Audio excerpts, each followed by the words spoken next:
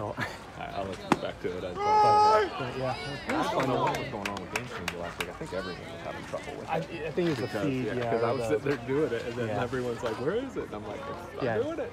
So, I It's think probably it, just- I think it was servers that they said were getting all backed up. But you Yeah. got to do it. Well, then you, you don't get a signal too. Yeah, then it hurts. Yeah.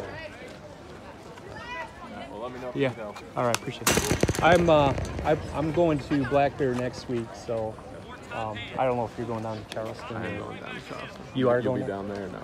No, I'm not going yeah, at all. Yeah, so so I'll, I'll, I'll take Okay. I'll take that on in between Chris and I. We can it. perfect. Yeah, Yeah, cool. I got the games in there, the bracket games Oh, already. right, So thank you. entered them. That, that is helpful. Yep.